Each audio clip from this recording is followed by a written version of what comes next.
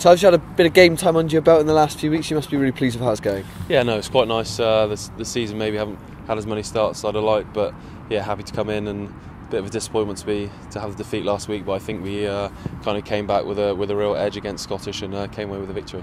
So the boys talked about the reaction all of last week going into London Scottish, and you got the right response. Yeah, definitely. I think even from the warm up and kind of the bus down there, boys were really switched on, and there was there was a real edge about about the team, and I think everybody really kind of stepped up and answered the critics, and kind of the coaches wanted a reaction, and I think we gave it to them. Now return to Ashton Gate for the only home game in February. You must be looking forward to getting yeah. back out there. Yeah, definitely. I think it'd be a, uh, a nice way to kind of celebrate Valentine's weekend. Um, but yeah, no, it'd be good. The Ashton Gate's always a, always a buzzing atmosphere, and uh, it'd be nice to get back to their home.